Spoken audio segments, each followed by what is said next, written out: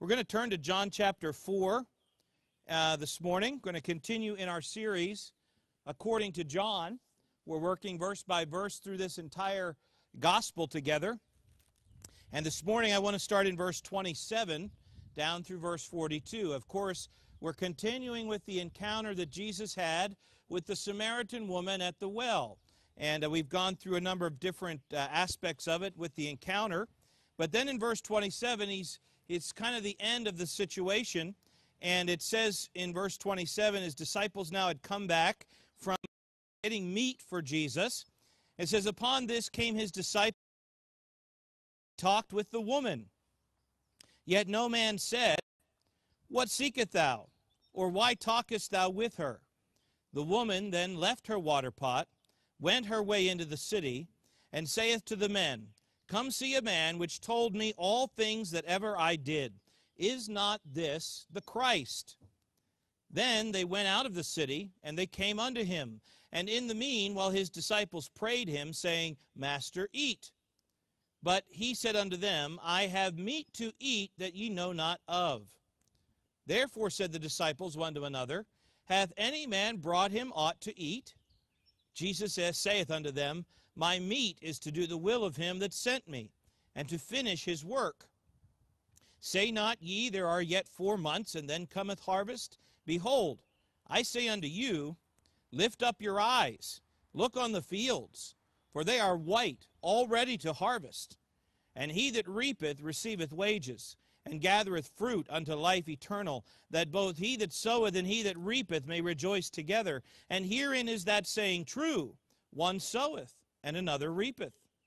I sent you to reap that whereon ye bestowed no labor. Other men labored, and ye are entered into their labors. And many of the Samaritans of that city believed on him for the saying of the woman, which testified, He told me all that ever I did. So when the Samaritans were come unto him, they besought him that he would tarry with them. And he abode there two days. And many more believed because of his own word. And said unto the woman, Now we believe, not because of thy saying, for we have heard him ourselves, and know that this is indeed the Christ, the Savior of the world. We'll leave the reading at that this morning and look at a message that I've titled, Consumed with Christ consumed with Christ. Let's have a word of prayer and we'll, uh, we'll unpack this together. Lord, I just thank you once again for each one that's here this morning, for ears that are willing to hear your truth, and I pray that it might be uh, proclaimed this morning accurately and with application. And Lord, may you just bless these moments together as we study your word. We ask that your spirit would be at work within us, convicting us and moving us and uh, changing us and making us more into your image. We thank you for that opportunity now, and we ask it in Jesus' name. Amen. Well, of course, um, I'm not going to repeat the whole story, but you've got to understand the context where we picked up this morning. And of course, we're dealing with the woman at the well, the Samaritan woman. Jesus was on a journey uh, up to the north of Galilee, gone through this region of Samaria. This was a region that most Jews would have avoided because the Samaritans were were not in, uh, in, in great uh, union with the Jews at this point. In fact, the Jews despised the Samaritans for how they uh, had felt they had corrupted the uh, truth that the Jews had been given. And so there was, uh, there was this. Um, so there was this encounter that happened in the middle of the day with a woman who was coming to a well, Jacob's well, there in the middle of Samaria. And of course, Jesus asks her for water, and he tells her about the living water that he has for her. And in the course of it all, the woman eventually realizes Jesus Christ is not like everybody else. there's something different here.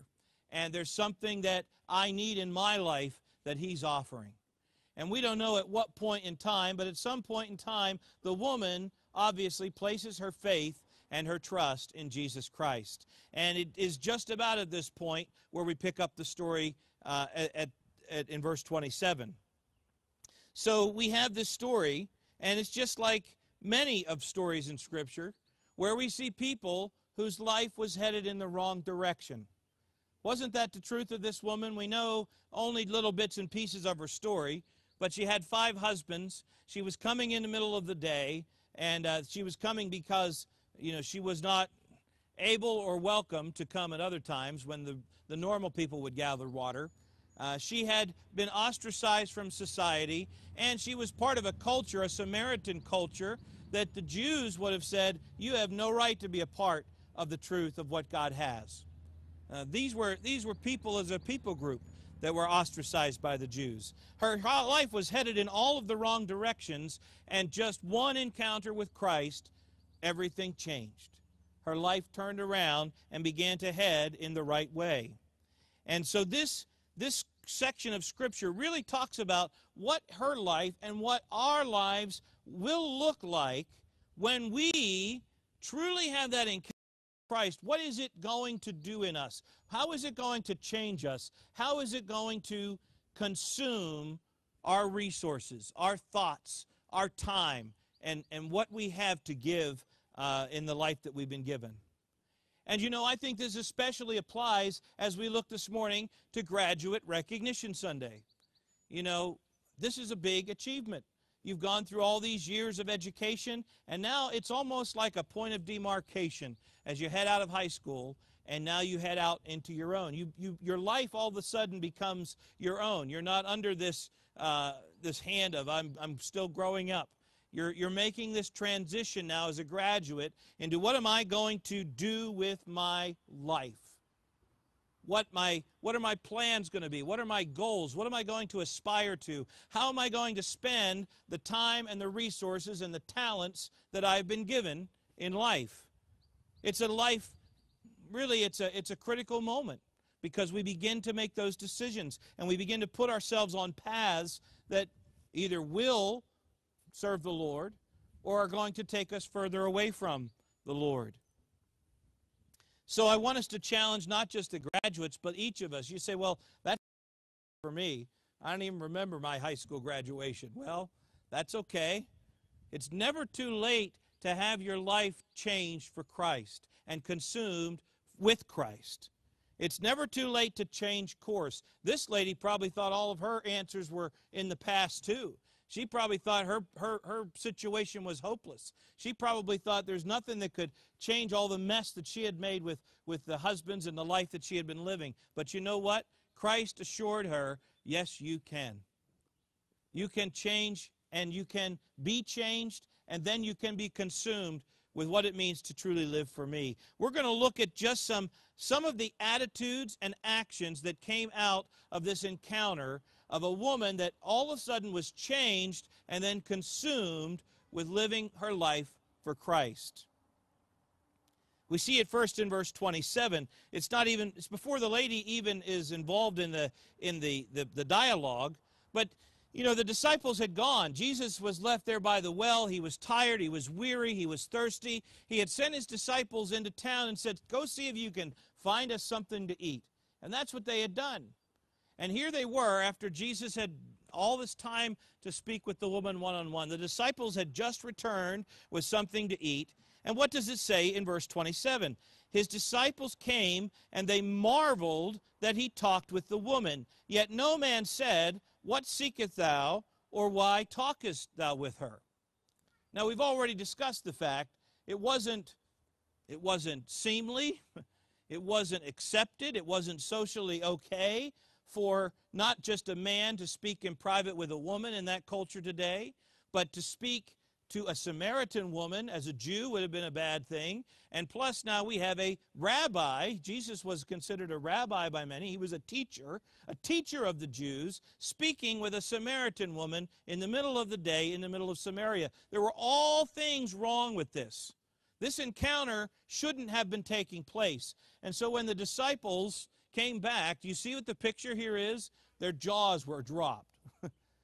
you, could, you could put it this way they were speechless.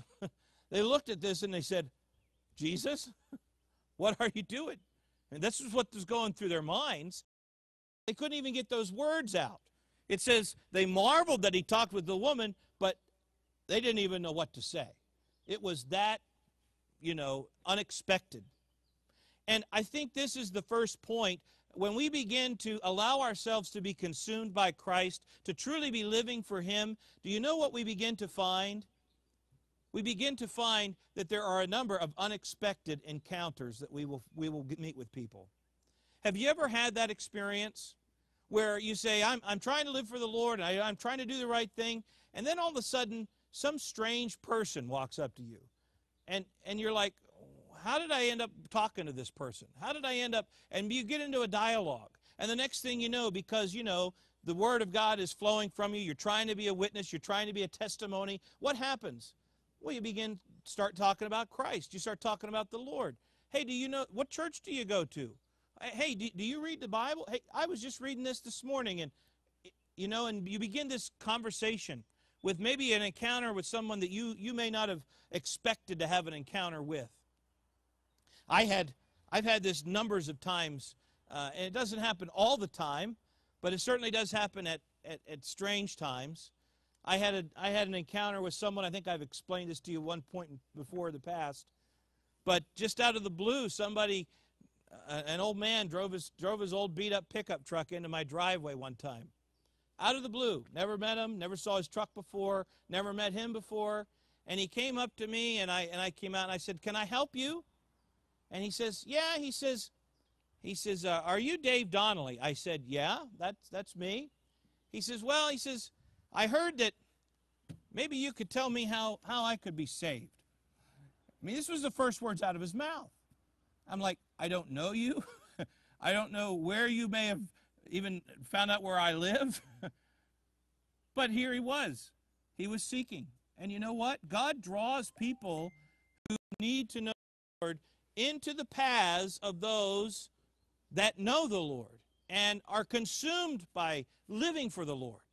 These, these types of encounters should become normal for us. Do you believe really that all the encounters that we have in life as Christians are just mere coincidence? How many times have you run into people by accident and you begin to talk about something that's consequential?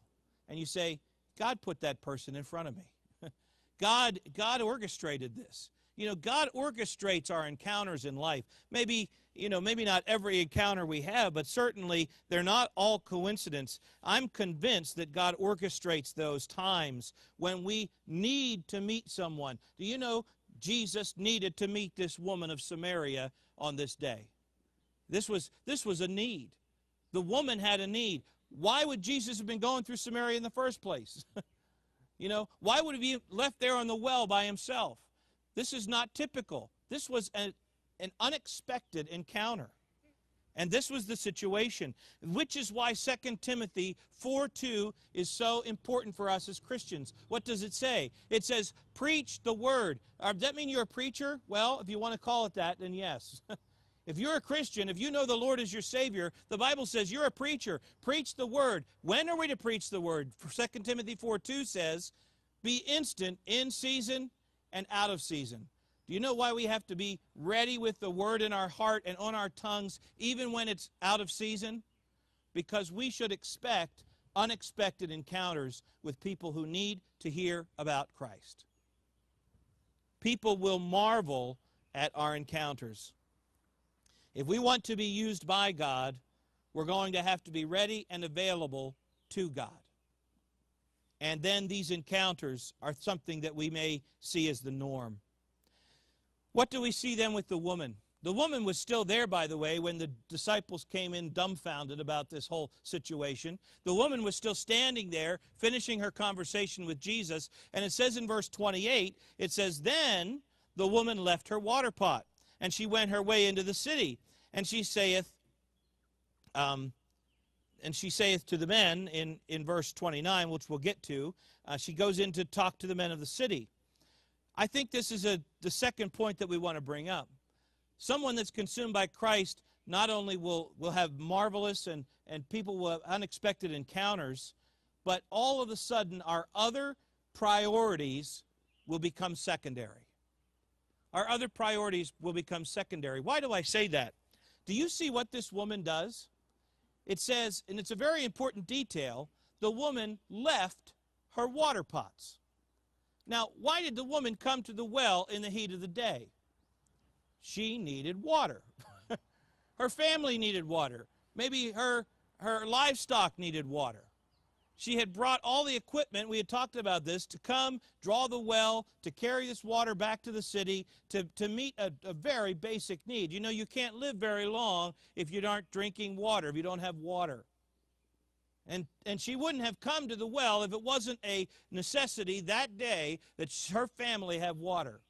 This was a priority. This was, this was probably number one priority of the day. Make sure we have water. You know, we don't even understand what this is like anymore, do we? we turn on the tap and the water's coming and it's fresh and it's clean and it's good. We don't even think about drawing water. But if I'll tell you, if the water gets shut off or you get one of these boil water notices, you know what's the first thing on your mind every day? Oh, I got to make sure I have enough water. I have enough water to do the dishes. I have enough water to, to, to, to you know, to, to make my food for the day. Do I have enough water to do this? And what are we doing? We are making that a priority, right? It's a, it's a critical thing. But what does the lady do? In the midst of talking to Jesus, heat of the day, had her water pots there, she just walks away from them. She leaves her water pots all of a sudden, what had been a primary concern for hers now became secondary. You know, I think this is a real issue for us, a hard issue for us as Christians, because we get so caught up into the things of life, the priorities that we begin to set, the primary concerns that we have. Now, they might not be water, but we certainly, we, we, we watch the news, we watch the media, we get involved with the entertainment, and all of a sudden we get involved with our job, we get involved with our children, we have activities, we have uh, goals that we begin to set for ourselves. And you know what we're we're setting priorities. And then we say, you know, I, you're right. I, I need to put Christ in there too. He should be in my list. And so we make a top 10 list of our priorities and we put Christ in it. And we feel like, as Christians, we're doing the right thing. We feel like, well, he's in the top 10. You know, we're here we are. You know, we're, we're, we're doing the right. I, I'm going to read my Bible today. These are great things. I mean, these are these are things that we should have in our life. Don't get me wrong. But the question is, what? How does Christ place in your top ten list? Has he become your priority? Has he become so consuming of your life and of your time and of your attention that these other things all seem secondary? even the critical things of life.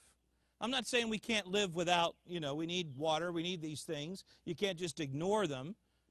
But are those the most important things that you allow your attention and your mind to be focused on? Or have your needs truly become secondary?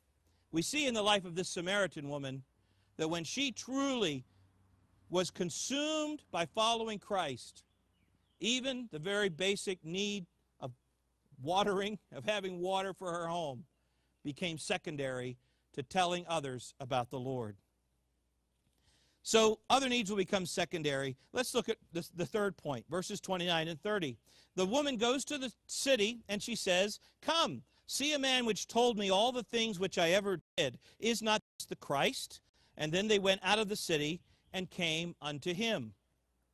Now, the third point that I want to mention for someone that's truly consumed by Christ is that your testimony will draw others to Christ. Your testimony will draw others to Christ. Do you realize why was this woman out there in the middle of the day again? Let's just refresh this. Because she was ostracized in some way from her society. And yet here she was, this woman of disrepute, going back to the city and speaking to whom? Not the other ladies, no, she spoke to the men of the city. This wasn't a commonly accepted practice even in that day and age. She was going to come back. Here was this woman who was already ostracized from her own friends. She had to come out and draw in the middle of the day. Now she was coming back to the people of the city, speaking to the men, those that were in charge, those that were making decisions for the, the, the respectable families in the city. And what was she telling them? Come see someone who changed my life. Come. Do you realize that when you have a testimony, what you are doing is you are inviting people to come to Christ? Let's be clear. When we ask someone, let's let's not beat around the bush. Hey, I you, you go and you meet someone that needs to know the Lord. What do you need to say?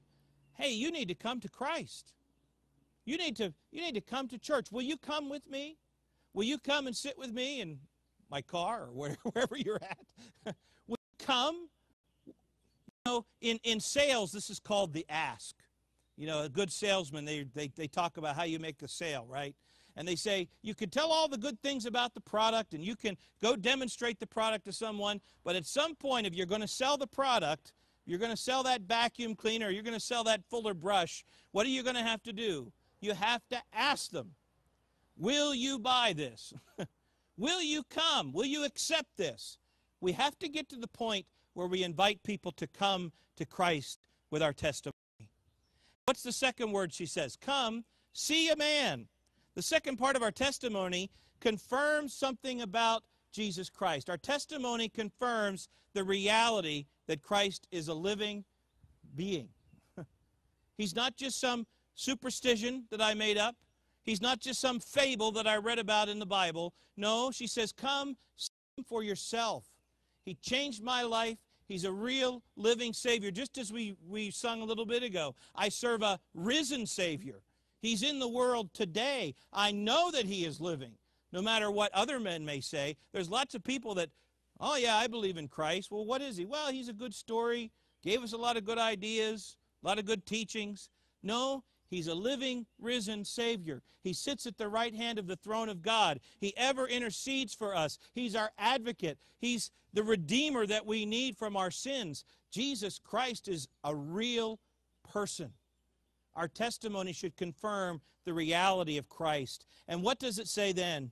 She says, Come see a man which told me.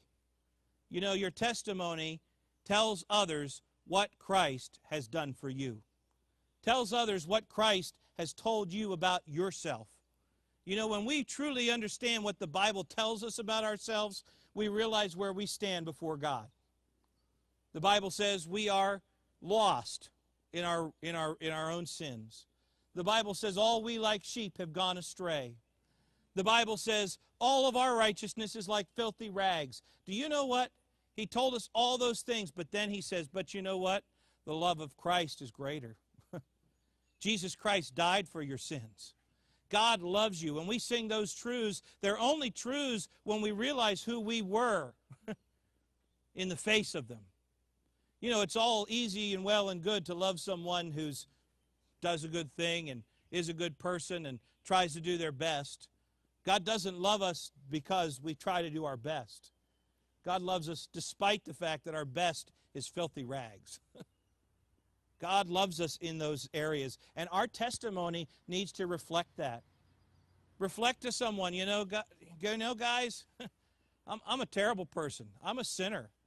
I, I'm a, I, I don't have my act together. What did this woman have to say to these men?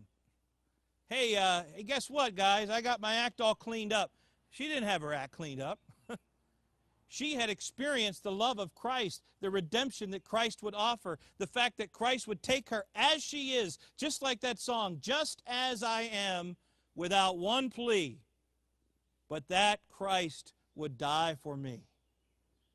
That's the, that's the fact, that's the reality of what we need to explain to people in our testimony. Well, let's keep moving. Verse, verses 31 to 34.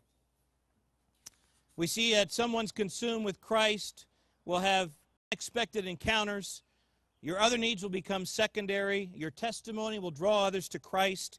And your work for the Lord will be satisfying to you. Your work for the Lord will satisfy you. This is what the disciples now they intervene. Verse 31. Meanwhile, his disciples prayed him, saying, Master, eat. Jesus had just sent them away for food. He knew hungry. They knew he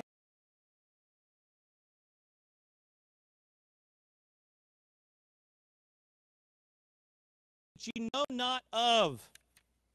Therefore said the disciples one to another, Has any man brought him to eat? Jesus saith to him, My meat is to do the will of him that sent me and to finish his work. Was Jesus hungry that day?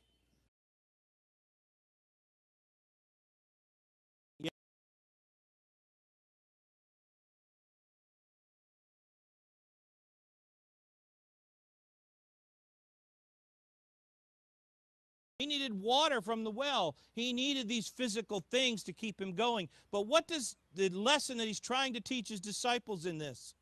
There's something more important than filling my belly. There's a spiritual component, there's a spiritual dimension that will satisfy you in greater ways than a good supper will.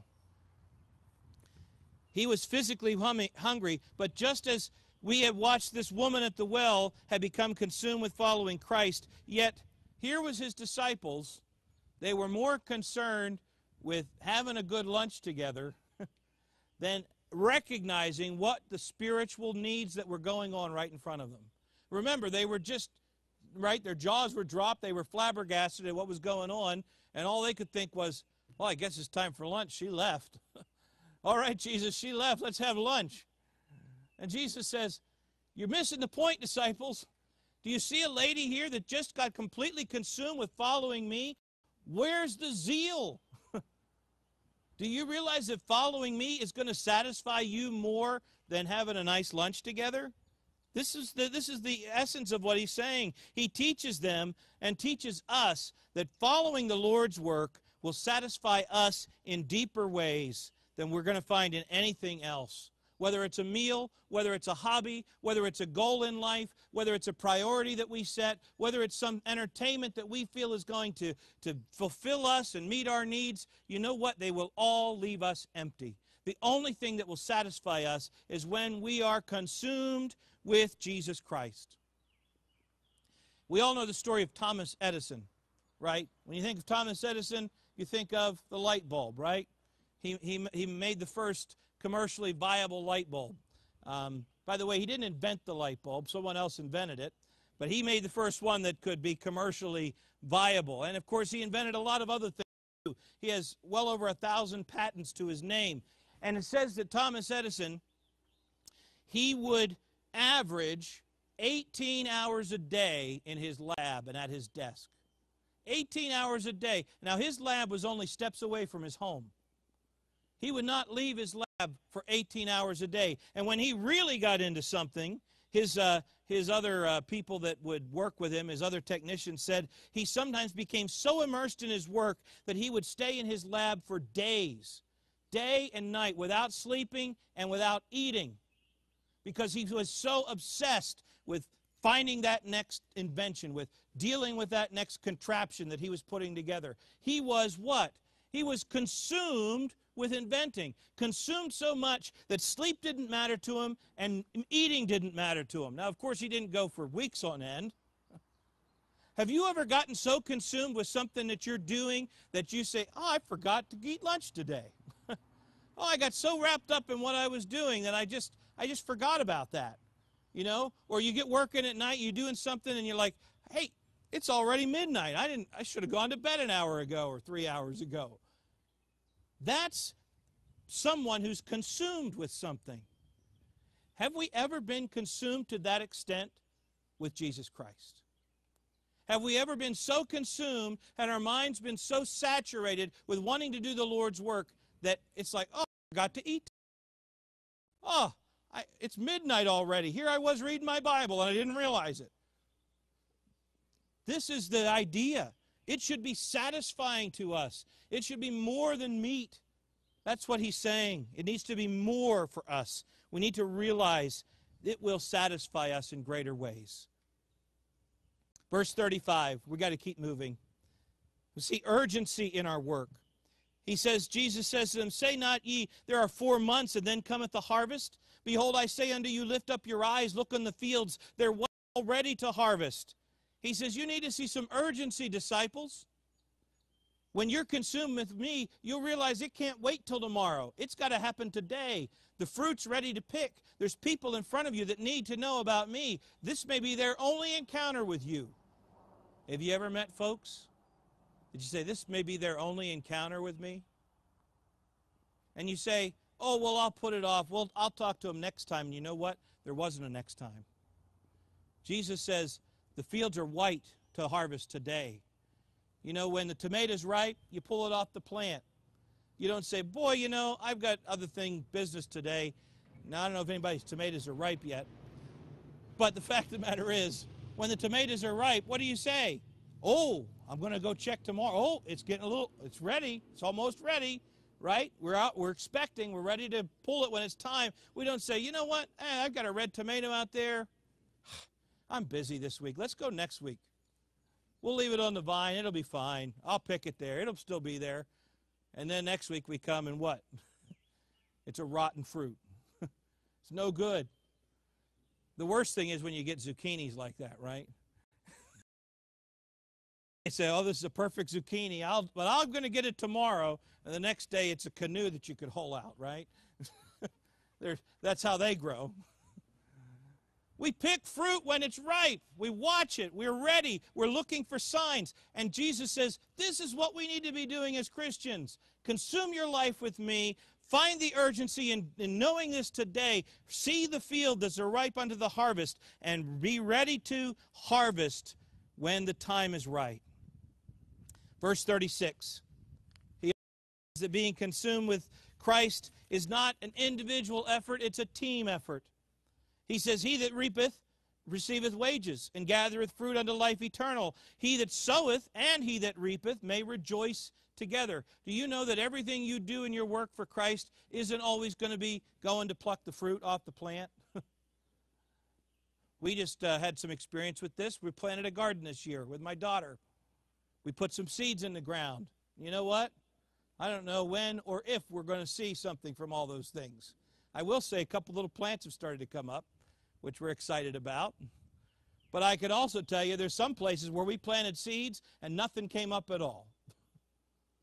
That's the part of our work of Christ, too. Sometimes we're going to be planting seeds and we're going to say, I'm doing my job. I'm out hoeing the field. I'm doing the, doing the right thing. And we're saying, well, that little plant didn't come up at all. Sometimes that happens. Does that deter us? Does that say, I'm out of the gardening business? I, I planted these and those seeds didn't come up. I'm never doing a garden again. Well, sometimes that's how we talk about our Christian faith, isn't it? Well, I talked to this person and he just, you know, told me how I was a hypocrite. He told me how I couldn't tell him and, you know, all these things. And he, he beat me down, told me I, he didn't want anything part to do with Christ. And what do we say? Oh, I, I see, I, I can't be a witness. I can't do this. Do you know that our witness for Christ being consumed with Christ is a team effort.